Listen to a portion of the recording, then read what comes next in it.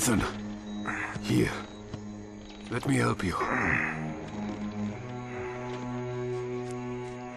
How are you feeling, Nathan? Mostly human.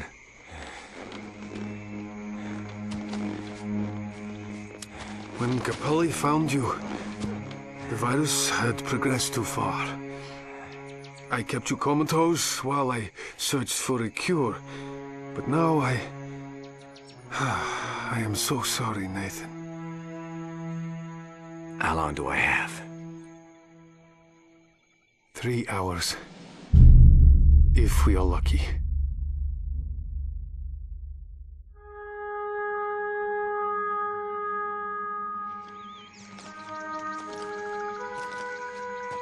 After Iceland, their ships rolled over SRPA bases coast to coast. They dug up towers we didn't even know about. Then two days ago, the fleet started moving south.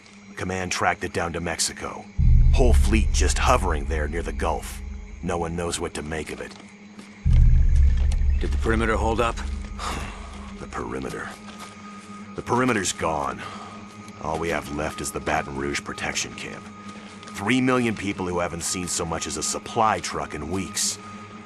If we don't do something now, it's only a matter of time before they starve to death. Or worse. So, are you gonna make your last hours count? Because if not, I'd like to know in advance. Let's go.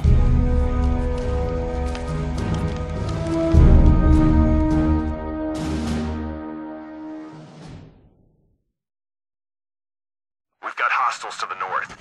Line should give us a pretty good vantage point for a shoot and scoot. I'll spot, you move into position. Command, have you located Major Blake? Negative, sir. No response on any channel. We have to assume the package is out in the open. What's the package? Fission bomb. Blake was escorting it to Field HQ when his team fell off the grid. It's our job to get it back. Command, can you track the bomb's position?